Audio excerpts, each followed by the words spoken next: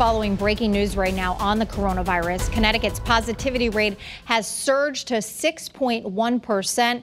That is the highest we have seen since June 1st. It also crosses the all important 5% mark. Channel 3 Eyewitness News reporter Matthew Campbell joins us live now. And Matthew, what does all of this mean for our reopening process?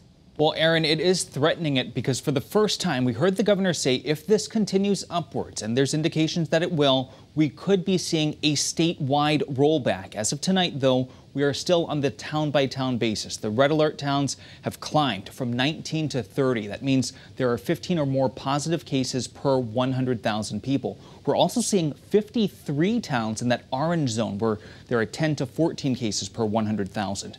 Now, the state has recommended that these red towns roll back to phase two, but only one, Windham, has actually done it. And we talked with towns saying this really won't work on a town by town basis because of people simply traveling.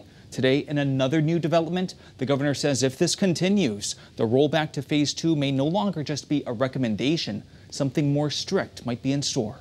But if we find out on Monday that this um, hockey stick acceleration of the infections is continuing, and most of these towns say, um, I can't do it on my own, uh, I, perhaps I prefer having um, the governor of the state step in, and uh, we would step in and make sure that all the red alert turns did, towns did the safe thing.